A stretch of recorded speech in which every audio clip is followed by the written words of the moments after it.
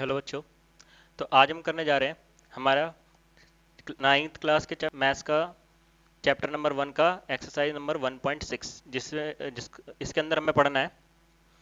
Laws of exponents for real number यानी वास्तविक संख्याओं के लिए घातांक नियम, ठीक है? तो इस एक्सरसाइज में हमें सबसे पहली बात तो ये वर्ड आया यहाँ पे एक्सपोनेंट्स क्या वर्ड आया? एक्सपोनेंट्स ठीक है? हिंदी में कहें तो घातांक। तो सबसे पहले इसको समझ लेते हैं, ठीक है? वैसे तो ये वर्ड आप लोगों ने पहले भी किया हुआ है क्लास एट्थ में, ठीक है? क्लास एट्थ में आप लोगों ने एक्सपोनेंट के बारे में पढ़ा है कि एक्सपोनेंट क्या होते हैं, ठीक है? कि जैसे कोई भी नंबर है और उसके ऊपर कोई पावर है, ठीक है? कोई नंबर है और उसके ऊपर कोई पावर है तो उस, इस पूरे टर्म को हम बोलते हैं एक्सपोनेंट हिंदी में कहते हैं घातांक। अब हम इन, इसे सेपरेटली भी समझ ले थोड़ा सा, कि अगर मैंने लिखा फाइव की पावर थ्री तो नीचे वाले को जिसकी पावर होती है, इसको हम कहते हैं बेस और इसे हम बोलते हैं डिग्री यानी इसे बोलते हैं आधार, और इसे बोलते हैं घात। ठीक है, इसे बोलते हैं आधार, और इसे बोलते हैं घात। तो और इस पूरे को मिला के बोला जाता है घातांक, यानी कि एक्सपोनेंट ठीक है? तो अब हमें इसमें यह समझना है कि एक्स हमें एक्सपोनेंट के लिए लॉज यानी कि इसके कौन कौन से नियम है, हमें वो समझना है। इस एक्सरसाइज के अंदर हमें एक्सपोनेंट के लॉज को समझना है, ठीक है? तो एक्सपोनेंट के लॉज कौन कौन से हैं? तो ये हम बात कर लेते हैं। सबसे पहली बात तो आपको एक्सपोनेंट समझ में आ गया, ठीक है? कि एक्सपोनेंट क्या होता है? कि कोई बेस होता है और उसकी कुछ पावर होती है तो उस पूरे टर्म को एक्सपोनेंट बोला जाता है, ठीक है? तो अब हम समझते हैं कि ये, इसके लॉज क्या क्या है। वैसे तो ये चीज़ें आपने पहले भी की हुई है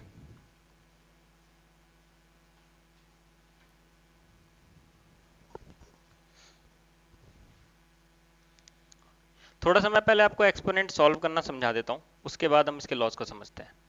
जैसे, अगर ये पावर्स होल नंबर में है तो ये तो आपको पता ही है कि ये तीन बार मल्टीप्लाई हो रहा है।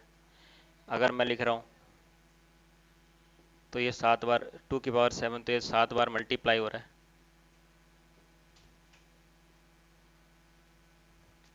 पर अगर मैं पावर लिख रहा हूँ माइनस में अगर मैं लिख रहा हूँ थ्री की पावर माइनस फोर तो पावर माइनस का मतलब क्या होता है? कि ये वन अपॉन में चले जाता है। ये पावर जब भी माइनस की होती है तो वो नीचे चले जाता है। ठीक है? यहाँ से एक नियम निकल के आता है हमारा कि ए की पावर माइनस एम बराबर होता है वन अपॉन ए की पावर एम ये हमारा यहाँ से एक लॉ निकल के आता है। जैसे हम ये पढ़ रहे हैं लॉज तो इसमें से एक लॉ ये है कि a की पावर माइनस एम होता है वन वन अपॉन ए की पावर m. ठीक है? इसके अलावा, कई बार आपने ऐसे लिखा हुआ देखा है रूट ये जो रूट वाले नंबर्स होते हैं, अगर हम इन्हें इन्हें इन्हें एक्सपोनेंशियल टर्म्स में लिखें, तब कैसे लिखते हैं? ठीक है? अगर रूट फाइव है, मेरे को इसे एक्सपोनेंशियल एक्सपोनेंशियल टर्म्स में लिखना है तो कैसे लिखूँगा? कभी भी जो रूट का मतलब क्या होता है, ये रूट का मतलब होता है power one upon two power one upon two तो रूट फाइव का मतलब होता है फाइव की पावर वन अपॉन टू ठीक है? ऐसे ही अगर मैं लिखूं रूट सेवन तो ये इसका मतलब होता है सेवन की पावर वन अपॉन कई बार इसके यहाँ पे थ्री लिखा होता है छोटा सा, ठीक है? यहाँ पे छोटा सा थ्री लिखा होता है और तब अंदर कुछ भी लिखा होता है। तो इसका मतलब होता है ट्वेल्व की पावर वन अपॉन थ्री ठीक है? अगर रूट के बाहर ऐसे थ्री लिखा हुआ है तो ये पावर वन अपॉन थ्री हो जाएगा। अगर पावर रूट के बाहर ऐसे फोर लिखा हुआ है तो उसकी पावर वन अपॉन फोर हो जाएगी। तो यहाँ पे जितना लिखा होता है वो उतने अपॉन में पावर चली जाती है। ठीक है? अगर मैं लिखूं एट की अंडर रूट ये फाइव रूट एट की पावर थ्री तो इसको मैं जब एक्सपोनेंशियल टर्म में लिखूँगा तो मैं लिखूँगा एट की पावर थ्री अपॉन फाइव ठीक है? थ्री ऊपर होगा और ये फाइव वन अपॉन में चले जाएगा। जैसे कि पावर आपको पता है रूट की जो पावर होती है, वो वन अपॉन में होती है। जब कुछ नहीं लिखा है तो रूट के नीचे टू आता है थ्री लिखा तो वन अपॉन थ्री फोर लिखा तो वन अपॉन फोर फाइव लिखा तो वन अपॉन फाइव तो ये आप एक्सपोनेंशियल टर्म में इनको चेंज कर रहे हैं रूट वाले नंबर्स को, ठीक है? तो ये बात है आपको समझ में आ गई होगी कि इनको एक्सपोनेंशियल टर्म में कैसे चेंज करते हैं। ये सारे एक्सपोनेंशियल टर्म है, ठीक है? तो अब हमें इनके लॉज समझने ठीक है? तो इनके लॉज आप लोग वैसे पहले भी पढ़ चुके हैं और मैं आप लोगों को फिर से एक बार करा देता हूँ। ये आप लोगों को समझ में आ गया होगा। ठीक है? इसके आगे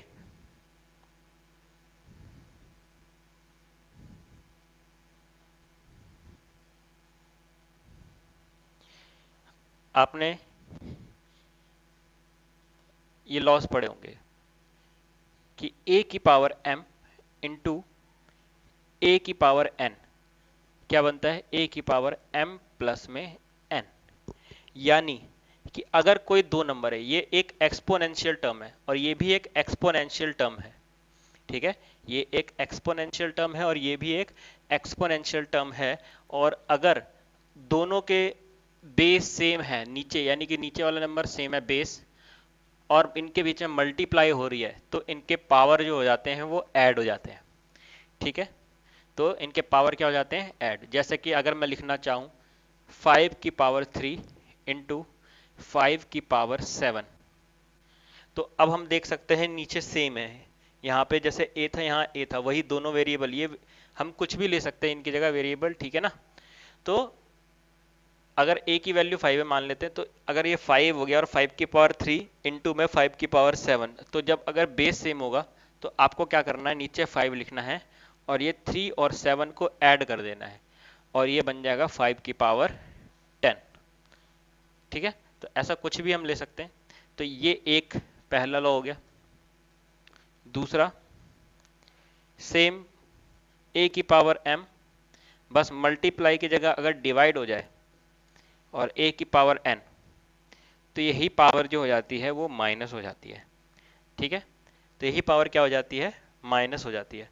तो फाइव की पावर अगर मैं लिख रहा हूँ वही फाइव की पावर सेवन या एट डिवाइड में फाइव की पावर टू तो क्या आएगा? फाइव की पावर एट में से टू माइनस कर देंगे। और ये बन जाएगा फाइव की पावर सिक्स। ठीक है? अच्छा अगर ये उल्टा होता, फाइव की पावर टू डिवाइड में फाइव की पावर एट, ये ऐसा होता, तब हम क्या करते? तो हम फाइव की पावर टू में से एट घटाते, और ये फाइव की पावर माइनस सिक्स आता और फाइव के पावर माइनस सिक्स आता तो अभी मैंने बताया था आपको, जब ये माइनस में होता है तो हम इसको वन अपॉन में लिख सकते हैं तो ये वन अपॉन में फाइव की पावर सिक्स बन जाता है, ठीक है? तो चाहे आगे बढ़ा हो, चाहे पीछे हो, कैसे करना है, आपको समझ में आ गया। अगर आगे बढ़ा है, पीछे छोटा है तो आपने माइनस किया पॉजिटिव एक्सपोनेंट आया, ठीक है? यहाँ पे कैसा एक्सपोनेंट आया? नेगेटिव एक्सपोनेंट और नेगेटिव एक्सपोनेंट जो होता है, इसको आप वन अपॉन में करके पॉजिटिव बना लेते हैं, ठीक है? तो ये पहला नियम हो गया आपका ये दूसरा हो गया ठीक है ए की पावर m इंटू ए की power n is equal to होता है ए की पावर m प्लस में n अब ए की पावर m डिवाइड में ए की पावर एन बराबर होता है ए की पावर एम माइनस में एन ठीक है तीसरा ए की पावर एम और उस पूरे की पावर एन ठीक है ए की पावर एम और उस पूरे की पावर एन ये बन जाता है ए की पावर एम इंटू एन यानी पावर्स की क्या हो जाती है? मल्टीप्लाई पावर के ऊपर पावर पावर के ऊपर पावर दिखे तो पावर की मल्टीप्लाई कर देनी है, ठीक है? अब मैं इसको लिख सकता हूँ जैसे थ्री की पावर सेवन और उसकी पावर फाइव थ्री की पावर सेवन और उसकी पावर फाइव तो इसका मतलब हो जाएगा थ्री की पावर सेवन इंटू में फाइव यानी थ्री की पावर सेवन फाइव जा थर्टी फाइव ठीक है? जब आपको ऐसे पावर के ऊपर पावर दिखते हैं तो आप पावर्स की मल्टीप्लाई कर देते हैं। अब एक बात और समझने वाली है इसमें। एक फ़र्क आपको हमेशा याद रखना है। मैंने एक बार लिखा थ्री की पावर सेवन और उसकी पावर फाइव और एक बार मैं लिख रहा हूँ थ्री की पावर सेवन और उसकी पावर फाइव अब मैं पूछूँ इन दोनों में क्या फ़र्क है? तो आपको इस फ़र्क को हमेशा याद रखना है। ये दोनों सेम नहीं है, ठीक है? ये दोनों सेम नहीं है। इसका मतलब तो ये है कि थ्री की पावर सेवन इंटू में फाइव है। पर इसका मतलब क्या है कि सेवन की पावर फाइव है, ठीक है? पहले आप सेवन की पावर फाइव सॉल्व करेंगे और उसके फिर वो थ्री की पावर बनाएँगे उसको, ठीक है? तो ये कितना आ जाएगा? ये आ जाएगा, जैसे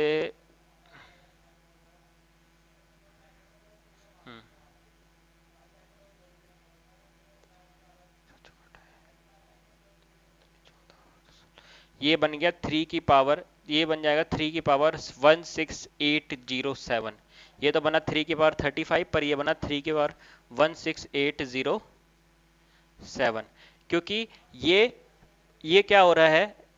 ये पावर की मल्टीप्लाई हो रही है। जब ब्रैकेट एक ब्रैकेट के अंदर पावर दिख रही है, एक ब्रैकेट के बाहर। ठीक है? तो ये पावर की मल्टीप्लाई हो रही है। पर यहाँ पे पावर के ऊपर पावर है।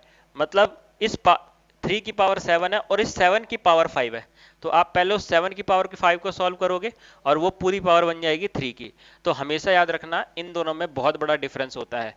ये आपको कभी देखने को मिले तो समझ जाना कि इनमें क्या फ़र्क है। ऐसा होगा, तब हम मल्टीप्लाई करेंगे। ऐसा होगा, तब हम मल्टीप्लाई नहीं करेंगे। ठीक है? तब हम पावर्स की मल्टीप्लाई नहीं करेंगे। मल्टीप्लाई कब करेंगे? जब ऐसे ब्रैकेट में होगा कि एक पावर है, फिर ब्रैकेट और उसके ऊपर दूसरी पावर है। तब हम इन पावर की मल्टीप्लाई करेंगे। या ये कुछ इस तरीके से लिखे भी हो सकते हैं कि थ्री की पावर सेवन गुना में फाइव ऐसे लिखे हैं तो डायरेक्ट मल्टीप्लाई कर ही सकते हैं, ठीक है? पर पावर के ऊपर एक और पावर इस तरीके से लिख रहा है तो वो अलग चीज़ है, ठीक है ना? तो तीसरा यहाँ पे हमारा तीसरा लॉ यही बनता है कि पावर थ्री ए की पावर एम और ब्रैकेट में उसकी पूरे की पावर एन तब बनता है ए की पावर एम इंटू में एन ये बात आपको याद रखनी है, ठीक है? और इन दोनों के बीच में डिफरेंस भी याद रखना है। अब हम आगे बढ़ते हैं। हमारा नेक्स्ट लॉ ठीक है? ये सब आप नोट करते रहें साथ ही साथ।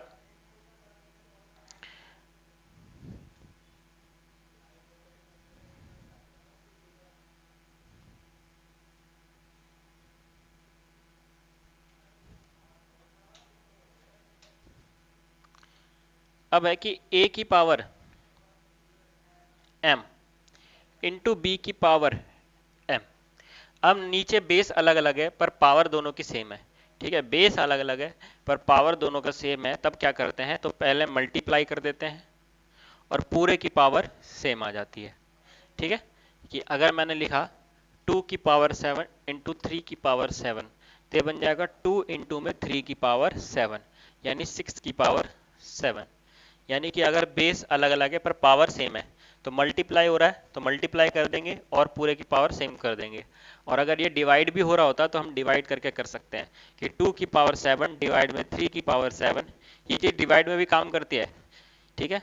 तो ये बन जाता टू अपॉन थ्री की पावर सेवन हम ऐसे भी लिख सकते हैं इसे, ठीक है? तो बस यही है। तो ये हमारे कुछ नियम थे अब इसके बेसिस पे हमें एक्सरसाइज करनी है।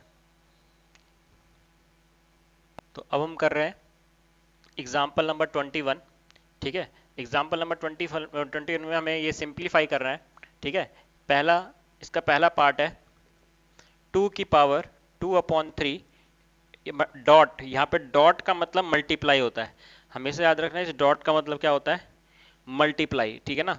डॉट यानी मल्टीप्लाई टू की पावर वन अपॉन थ्री तो अभी हमने कुछ लॉस सीखे, कुछ नियम सीखे कि एक्सपोनेंट को कैसे सॉल्व करते हैं। तो मैंने अभी आपको एक, इसको आप आइडेंटिटी भी बोल सकते हैं कि ये आइडेंटिटी है, ठीक है ना? लॉ बोल लो आइडेंटिटी बोल लो। तो यहाँ पे आइडेंटिटी क्या थी हमारी कि ए की पावर एम इंटू ए की पावर एन यहाँ पे बेस सेम है यहाँ पे आप देख सकते हैं बेस सेम है और मल्टीप्लाई हो। रहा था जब ए की पावर एम इंटू ए की पावर एन होता है तो ए की पावर एम प्लस एन यानी कि पावर जो हो जाती है, वो ऐड हो जाती हैं।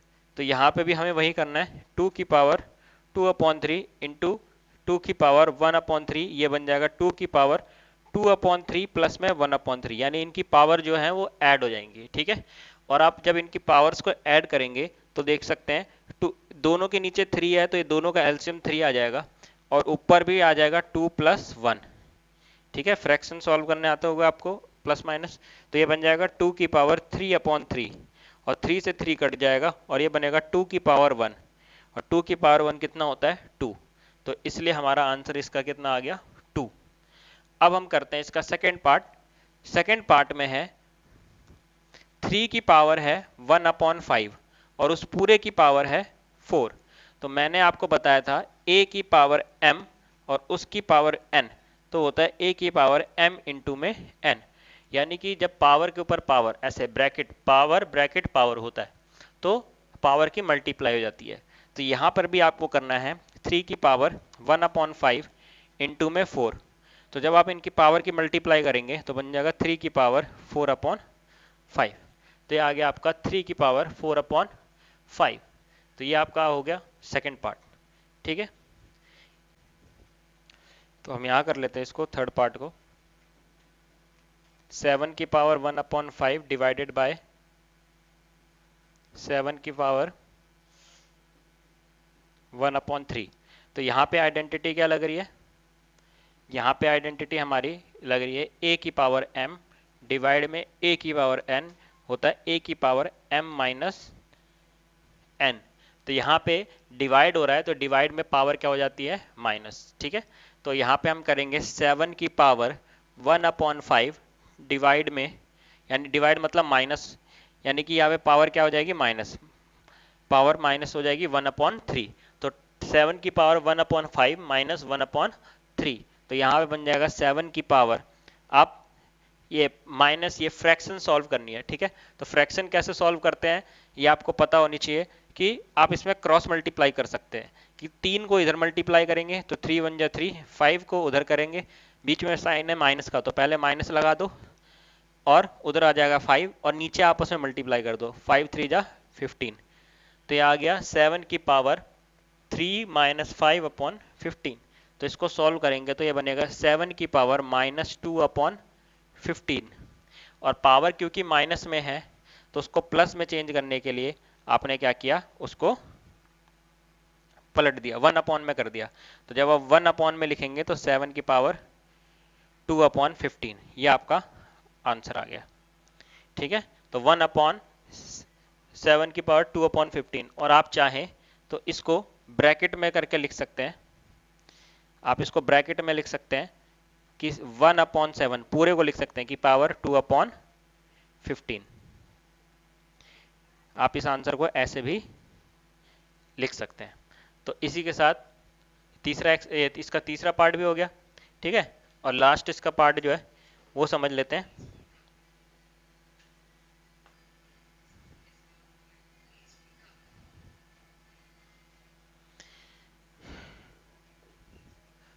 फोर्थ पार्ट फोर्थ पार्ट में क्या हो रहा है? थर्टीन की पावर वन अपॉन फाइव यहाँ पे भी डॉट लगा हुआ डॉट का मतलब मल्टीप्लाई मल्टीप्लाई सेवनटीन की पावर वन अपॉन फाइव तो आप देख सकते हैं, यहाँ भी दोनों के बेस यहाँ दोनों के बेस अलग अलग है, पर पावर सेम है. तो अभी हमने ऐसी आइडेंटिटी भी करी थी. मैंने आपको आइडेंटिटी बताई थी. ए की पावर एम मल्टीप्लाई में बी की पावर एम तो क्या होता है, पहले मल्टीप्लाई हो जाती है और पूरे की पावर क्या हो जाती है एम तो यहाँ पे भी कुछ ऐसे ही हो रहा है, तेरह की थर्टीन की power one upon five into seventeen की पावर वन अपॉन फाइव तो क्या होगा? थर्टीन इंटू सेवनटीन पहले मल्टीप्लाई हो जाएगा और पूरे की पावर क्या आ जाएगी? वन अपॉन फाइव तो इनकी गुना कर दो।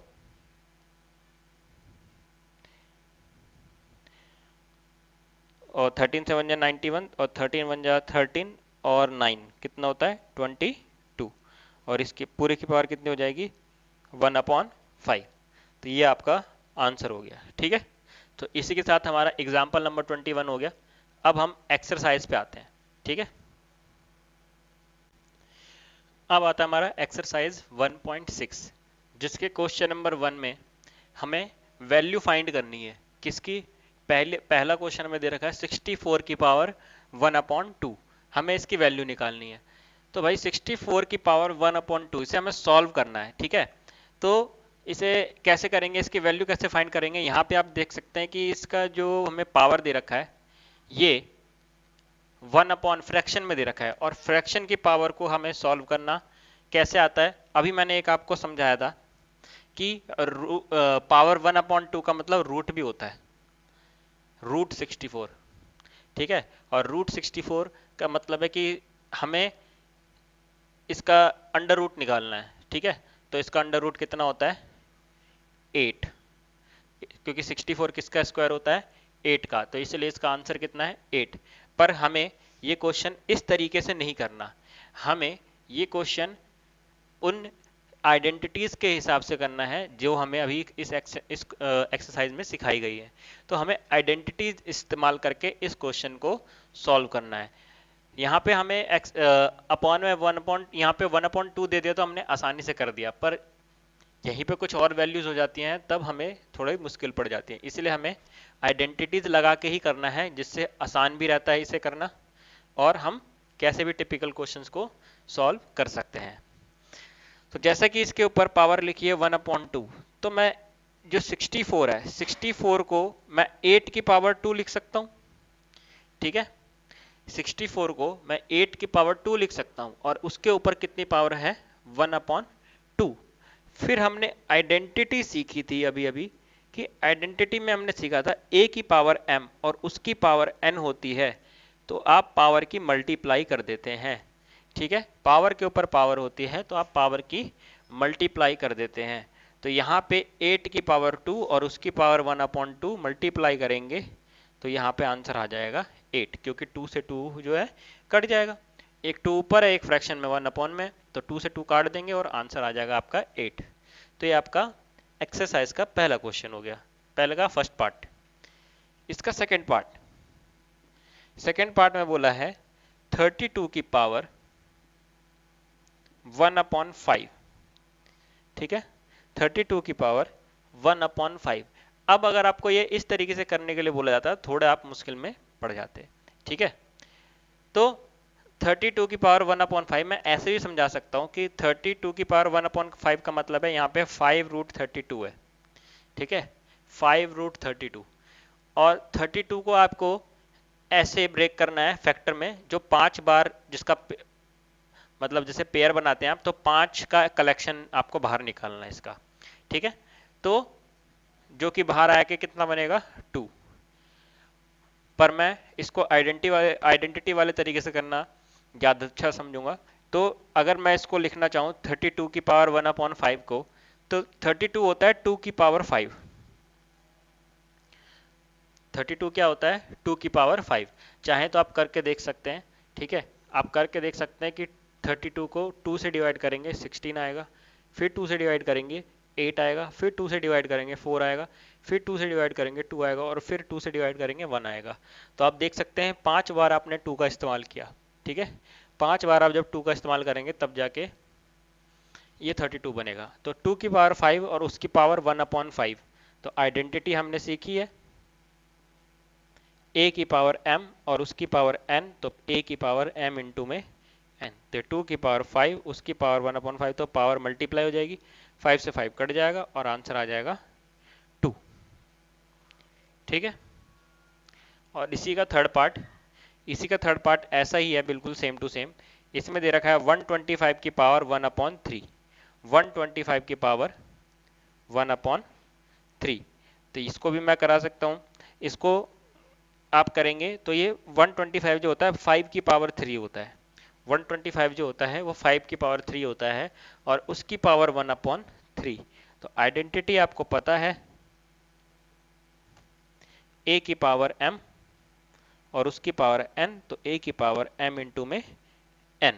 तो यहाँ पे आप क्या करेंगे? 5 की पावर 3 और उसकी पावर 1 अपॉन थ्री थ्री से 3 कट जाएगा।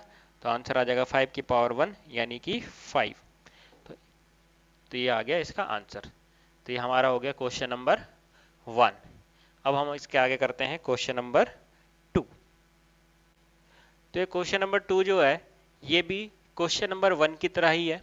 ठीक है? इसमें भी हमें फाइंड करनी है वैल्यू किसकी वैल्यू नाइन की power three upon two nine की पावर थ्री अपॉन टू हमें इसकी वैल्यू फाइंड करनी है. ठीक है? तो आपको पता है कि जो नाइन होता है, इसको मैं थ्री की पावर टू लिख सकता हूँ. और उसकी पावर कितनी है? थ्री अपॉन टू ठीक है?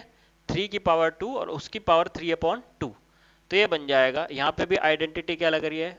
आपको पता है. ए की पावर m और उसकी पावर n तो बन जाता है ए की पावर m इंटू में n. तो अब यहाँ पे आप करेंगे थ्री की पावर टू इंटू में थ्री अपॉन टू तो टू से टू कट जाएगा तो बचेगा थ्री की पावर थ्री और थ्री की पावर थ्री जब आप सॉल्व करेंगे तो three into three into three answer आएगा ट्वेंटी सेवन ठीक है? अब इसका सेकेंड पार्ट सेकेंड पार्ट में क्या दे रखा है? थर्टी टू की power two upon five. Second part में दे रखा है थर्टी टू की पावर टू अपॉन फाइव। तो 32 को मैं लिख सकता हूँ 2 की पावर 5 और उस पूरे की पावर है 2 अपॉन फाइव। ठीक है? तो आइडेंटिटी हमें पता है। आइडेंटिटी बार बार हम लिख रहे हैं। आपको याद हो जानी चाहिए ये आइडेंटिटी। ए की पावर एम और उसकी पावर एन तो बन जाता है ए की पावर m इंटू में एन ठीक है? तो टू की पावर फाइव इंटू में टू अपॉन फाइव तो फाइव से फाइव कट जाएगा और बनेगा टू की पावर टू यानी टू इंटू टू और टू इंटू टू होता है फोर तो इसका आंसर आ गया फोर ठीक है? अब करते हैं इसका थर्ड पार्ट थर्ड पार्ट में हमें दे रखा है 16 की पावर 3 अपॉन फोर सिक्सटीन की पावर थ्री अपॉन फोर तो अब आपको इसमें एक बात याद रखनी है 16 के लिए। 16 के लिए हमेशा आप एक बात याद रखना। 16 जैसे बोलते हैं तो हमें याद, समझ में आता है 4 की पावर 2 कि 4 का स्क्वायर होता है 16 ठीक है, हम डायरेक्ट समझते हैं 4 की पावर 2 पर एक बात और याद रखना कि इसकी एक और वैल्यू होती है। इसको हम 2 की पावर 4 भी बोल सकते हैं। ठीक है? 16 जो होता है वो 4 की पावर 2 भी होता है और यही 2 की पावर 4 भी होता है। चाहे आप चार को दो बार मल्टीप्लाई कर लो या दो को चार बार मल्टीप्लाई कर लो 16 ही आता है। टू टू जा फोर टू जा एट टू जा सिक्सटीन, ठीक है? और फोर फोर जा सिक्सटीन। तो हमें इनमें से कौन सी वैल्यू लेनी है वो इस क्वेश्चन पे डिपेंड करता है। क्योंकि नीचे यहाँ पे देख सकते हैं आप पावर फोर है तो आप यहाँ पे पावर फोर वाला ही लो। तो 16 को मैं लिख सकता हूँ टू की पावर फोर और उसकी पावर थ्री अपॉन फोर तो फिर से आइडेंटिटी लगेगी। आइडेंटिटी आप हर बार लिखेंगे, ठीक है? ए की पावर m और उसकी पावर n तो a की पावर m इंटू में एन तो यह बन गया टू की पावर फोर इंटू में थ्री अपॉन में फोर फोर से फोर काट देंगे टू की पावर थ्री और टू की पावर थ्री जो होता है, वो होता है two into two into two जो कि बराबर होता है एट के, टू टू जा, फोर, टू जा, एट। तो इसका आंसर आ गया एट, ठीक है? और इसका लास्ट पार्ट यानी फोर्थ पार्ट है 125 की power minus one upon three ठीक है? 125 की power minus one upon three तो जब आप इसे सॉल्व करेंगे तो 125 जो होता है 5 की पावर 3 होता है, और उसकी पावर है माइनस वन अपॉन थ्री फिर से आइडेंटिटी आइडेंटिटी वही है ए की पावर m और उसकी पावर n तो ए की पावर m इंटू में n तो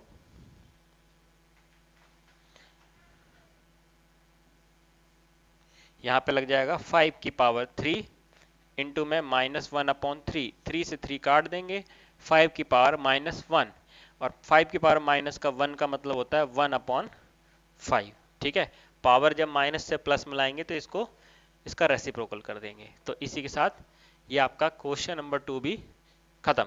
अब हमें करना है क्वेश्चन नंबर थ्री तो अब हम आ जाते हैं अपने चैप्टर के लास्ट क्वेश्चन पे, ठीक है?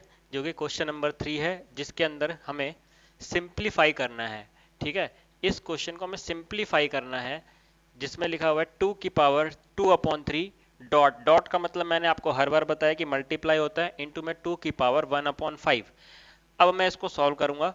तो हमें पता है ये डॉट का मतलब मल्टीप्लाई होता है तो हम पहले ही आइडेंटिटी लिख लेते हैं कि ए की पावर एम इंटू में, क्योंकि यहाँ पे दोनों बेस सेम है, और डॉट का मतलब मल्टीप्लाई होता है। तो ए की पावर m इंटू ए की पावर एन बराबर होता है ए की पावर एम प्लस में एन ठीक है?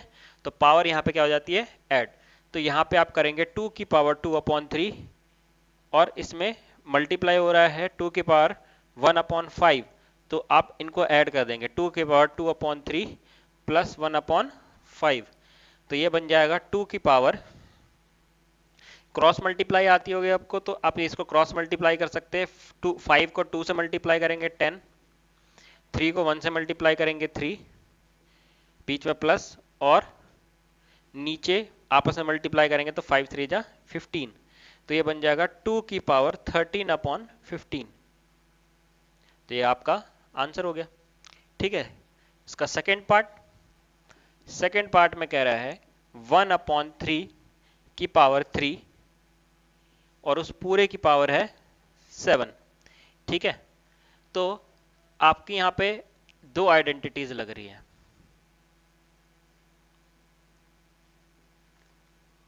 तो आप आइडेंटिटीज लिख लो कि यहाँ पे कौन कौन सी आइडेंटिटीज लग रही हैं। पहली आइडेंटिटी ये कि अगर दो अलग अलग नंबर हैं और उनके ऊपर सेम पावर है, ठीक है, और ये डिवाइड हो रहा है तो हमने इसको कुछ मल्टीप्लाई के फॉर्म में कुछ ऐसा लिखा था ए की पावर एम इंटू बी की पावर एम तो हो जाता है ए इंटू बी की पावर एम मैंने अभी आपको थोड़ी देर पहले ये वाली आइडेंटिटी बताई थी। अगर हम इसको उल्टा करें तो ये ऐसा भी तो हो सकता है कि जो मल्टीप्लाई हो रहा है, हम उसको ऐसे खोल के भी लिख सकते हैं। ये खुला हुआ है तो हम इसको बंद कर सकते हैं तो ये बंद है तो इसको खोल भी सकते हैं। तो जो चीज़ मल्टीप्लाई के लिए होता है, वही चीज़ सेम डिवाइड के लिए भी होता है। कि अगर डिवाइड में ऐसा हो रहा है कि a अपॉन बी की पावर m तो मैं इसको लिख सकता हूँ, a की पावर m अपॉन में b की पावर m, ठीक है? A की पावर m अपॉन में b की पावर m पहली आइडेंटिटी तो ये हो गई, और दूसरी आइडेंटिटी आपको पता है, a की पावर m और उसकी पावर एन तो पावर के ऊपर पावर जब होती है तो मल्टीप्लाई हो जाती है, ठीक है? तो फ़िलहाल सबसे पहली बात तो यहाँ पे। ये बन जाएगा वन की पावर सेवन अपॉन में थ्री की पावर थ्री और उसकी पावर सेवन क्योंकि अभी मैंने बताया कि जब पावर दोनों के ऊपर होती है तो आप उसको अलग अलग भी लिख सकते हैं। तो आप इसको वन की पावर भी सेवन में लिख सकते हैं और इस पूरे टर्म के ऊपर भी सेवन लिख सकते हैं, ठीक है? अब यहाँ पे ये वाली आइडेंटिटी लग जाएगी तो वन की पावर तो जितनी मर्ज़ी कर लो आप, वो वन ही रहता है। वन की पावर कुछ भी हो, वो वन ही रहता है। वन की पावर सेवन भी कितना आएगा? वन और नीचे जो आएगा, वो थ्री की पावर क्योंकि पावर और ब्रैकेट पावर है तो इसलिए पावर के मल्टीप्लाई कर देंगे। और ये बन जाएगा वन अपॉन थ्री की पावर ट्वेंटी वन ठीक है? और लास्ट में आप चाहें तो इसको वापस पूरा क्लोज कर सकते हैं। और पूरे की पावर 21 लिख सकते हैं, क्योंकि आपको पता है कि वन की पावर कितनी भी रखो तो वन ही आता है। तो मैं इसको वन की पावर 21 भी लिख सकता हूँ। तो जब ये वन की पावर 21 और ये थ्री की पावर 21 बनेगा तो ब्रैकेट लगा के आप पूरे के ऊपर भी लिख सकते हैं। ठीक है? अब इसका थर्ड पार्ट थर्ड पार्ट में है 11 की पावर 1 अपॉन टू अपॉन में 11 की पावर 1 अपॉन फोर, ठीक है? 11 की पावर 1 अपॉन टू अपॉन में 11 की पावर 1 अपॉन फोर। तो यहाँ पे आपकी आइडेंटिटी कौन सी लग रही है? A की पावर m डिवाइड में a की पावर n तो होता है a की पावर m माइनस एन तो यहाँ पे 11 की power 1 upon two minus one upon four. तो जब आप इसको सॉल्व करेंगे, क्रॉस मल्टीप्लाई कर दो। फोर वन जा फोर, माइनस टू वन जा टू और नीचे फोर टू जा एट। तो इलेवन की पावर आ जाएगी टू अपॉन एट और टू अपॉन एट को आप सॉल्व करेंगे काट के तो ये बन जाएगा इलेवन की पावर वन अपॉन फोर। ठीक है? तो ये आंसर आ गया इलेवन की पावर वन अपॉन फोर। अब हमें इसका लास्ट पार्ट करना है तो मैं ये वाला रब कर रहा हूँ। इसके आगे ये लास्ट, हमारे चैप्टर का लास्ट क्वेश्चन बचा? ठीक है सेवन की power one upon two dot eight की पावर वन अपॉन टू इस डॉट का मतलब आपको पता है मल्टीप्लाई होता है तो आइडेंटिटी ए की पावर m इंटू बी की पावर m. ठीक है इजिकल टू होता है ए इंटू बी की पावर एम तो यहाँ पे सेवन की power one upon two into eight की पावर वन अपॉन टू बन जाएगा सेवन इंटू एट की पावर वन अपॉन तो यानी 56 की पावर वन अपॉन टू तो इसी के साथ हमारा चैप्टर खत्म होता है, ठीक है? तो इसी के साथ हमारा चैप्टर खत्म होता है, पर ये चैप्टर इतना ही नहीं है, ठीक है? बुक से हमने एनसीईआरटी से सारी चीज़ें ख़त्म कर ली, सारे सारे क्वेश्चन ख़त्म कर लिए एक्सरसाइज के सारे एग्जाम्पल्स कर लिए, पर अभी भी इतना काफ़ी नहीं है, ठीक है? हमें अपने एग्ज़ाम को फेस करने के लिए और भी बहुत सारे एक्स्ट्रा क्वेश्चन करने पड़ते हैं, ठीक है?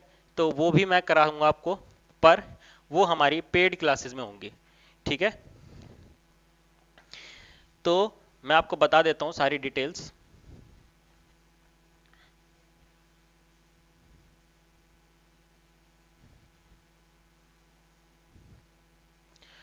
अब इसके आगे जो हमें करना है, ठीक है? ये तो हमने एनसीईआरटी कवर कर लिया, पर इसके अलावा हम R D Sharma